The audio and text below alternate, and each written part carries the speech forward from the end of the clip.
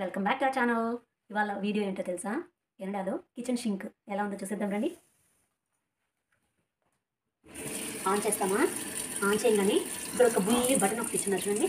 ఈ బటన్ ఇలా ప్రెస్ చేస్తామంటే వాటర్ ఇట్లా ఉంటుంది ఆపేసుకొని ఇది నైంటీ డిగ్రీస్ ఇది నైంటీ డిగ్రీస్. ఇది వన్ ఎయిటీ డిగ్రీస్లో మనం ఎలా కావాలంటే అలా మూవ్ చేసుకోవచ్చు.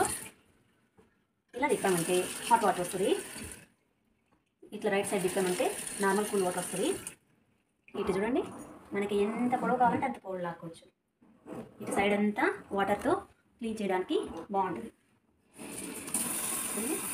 మనం షింక్ ఎక్కువ క్లీన్ చేయాలన్నా ఈ విధంగా సెట్ చేసుకోవచ్చు.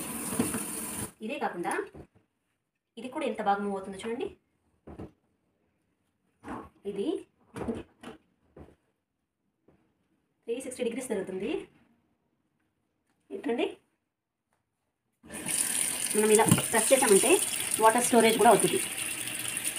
వాటర్ ఇట్లా స్టోరేజ్ అయినప్పుడు మనం షింక్ ఏమైనా లిక్విడ్స్ ఏదైనా యూస్ చేసి క్లీన్ చేయాలనుకున్నా యూజ్ అయ్యింది అవసరం లేదన్నప్పుడు ఈ లిడ్ ఇలా తీసేస్తామంటే వాటర్ వెళ్ళిపోతుంది. చూసారు కదా?